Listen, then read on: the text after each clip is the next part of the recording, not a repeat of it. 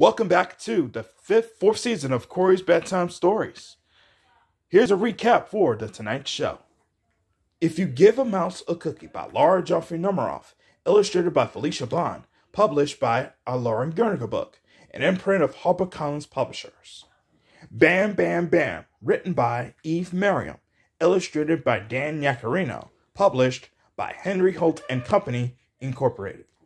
And Who Said Red by Mary Serfozo, illustrated by Keiko Narahashi, published by Scholastic Incorporated. Now remember, you can find some of your favorite books and lots of other books too at your local library. I had a wonderful time going on an adventure with you.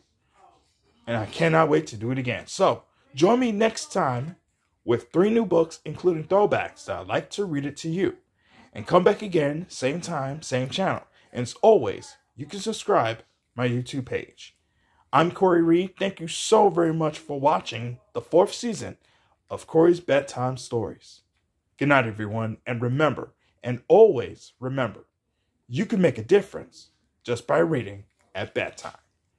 See you next time.